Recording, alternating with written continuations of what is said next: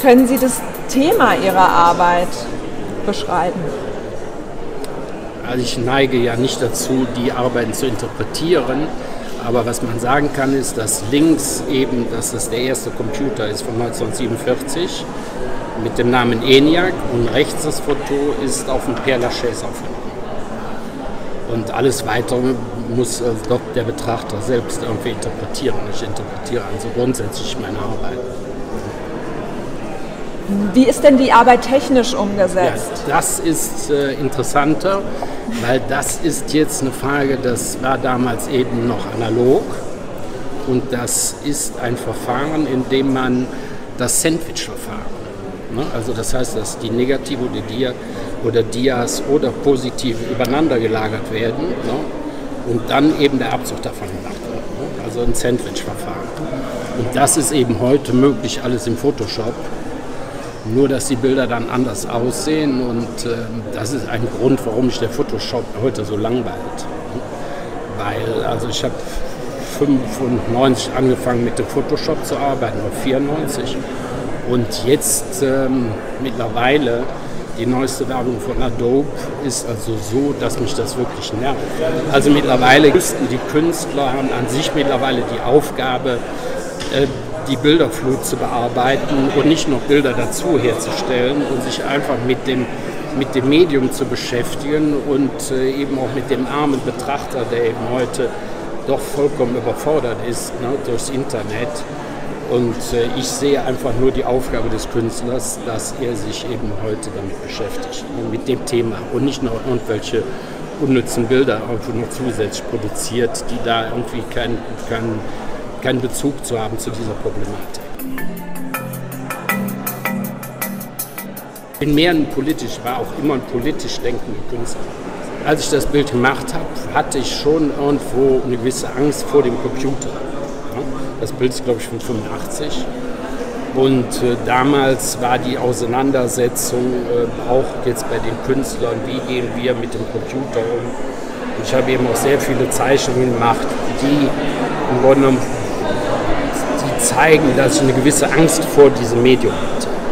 Und hat ja dann nur noch zehn Jahre gedauert, bis ich selber mit diesem Medium gearbeitet habe. Aber das war schon äh, auch eine Befürchtung, die sich ja mittlerweile ja auch äh, bestätigt. Ne? Inwiefern wir alle manipuliert werden jetzt durchs Internet und durch die Netzwerke.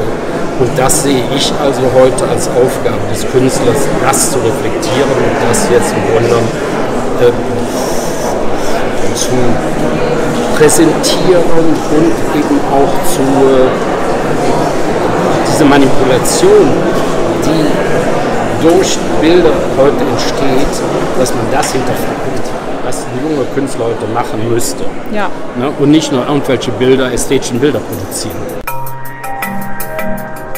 Besonders weil eben in der Werbung viel jetzt eben mit ähm, dem Photoshop eben auch gemacht wird.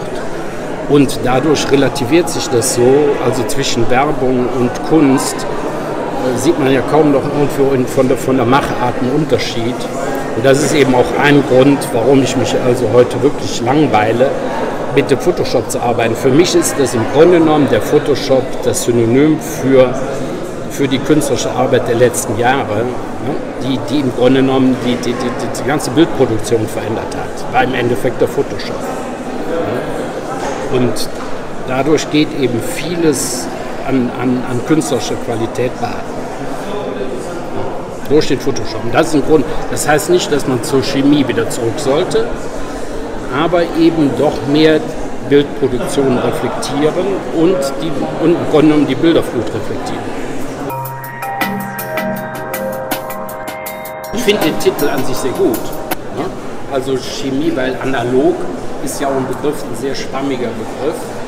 Und deshalb fand ich jetzt Chip versus äh, äh, Chemie, den Titel fand ich aber sehr gut. Nee, nee, und das fand ich auch, die, die Idee ist auch sehr gut, weil das nämlich das Thema ist, was uns auf den Nägeln brennt. Die können wir heute, deshalb gehen ja viele Jünger auch wieder zurück zu Polaroid. Ne? Oder fangen an mit 9 mm zu drehen. Ne? Und viele, aber das ist meines Erachtens nicht die Lösung heute ähm, mit der Chemie wieder anzufangen. ich, ich mache es selber, ich habe mir selber meinen Vergrößer wieder hingestellt und mache das mir aus Spaß an der Freude. Aber eine Lösung ist es nicht. Das heißt, Sie haben jetzt schon ein paar Mal erwähnt, wie, äh, wie Sie arbeiten, also dass Sie nicht nur analog arbeiten, sondern sich schon dem Digitalen auch zugewandt haben. Ich habe seit 95 nur digitalen Arbeiten nachher. Ne? Also Ist diese es sozusagen die letzte analoge Arbeit? Ja, zehn Jahre, das ist ja zehn Jahre vorher. Ne? Und dieses Sandwich-Verfahren ist natürlich, entsprach wirklich eben auch dem Photoshop. Diese Ebenen, die man beim Photoshop einsetzt, sind bei der chemischen Fotografie quasi die, die, die, die Folien, ne? die, die man übereinander legt. Also ob das jetzt das Negativ, das Positive so ein Dia ist. Und im Grunde war das so einfach nachher im, äh, ähm, im Photoshop das zu realisieren. Nur am Anfang war das für mich faszinierend, weil eben eine 2 Megabyte Datei war ja eine Riesendatei. Und das war das Faszinierende. Dadurch sehen die nicht so geleckt aus, wie die heute aussehen, die Arbeiten von den Leuten. Ne? Ne? Die haben ja nur was Ursprüngliches und die, deshalb haben die ja auch diese Aura noch. Und die geht ja im Endeffekt wahr ne? bei den neuen Arbeiten. Wenn, wenn die heute Abend nur noch, wenn die heute nur noch irgendwo äh, ihre Fotos durch den Photoshop schicken, das sieht man denen eben auch an und das langweilt mich also wirklich absolut. Vielen Dank, Sie haben uns Bitte sehr viel Material geboten. Ja, Sehr schön, danke. Bitte.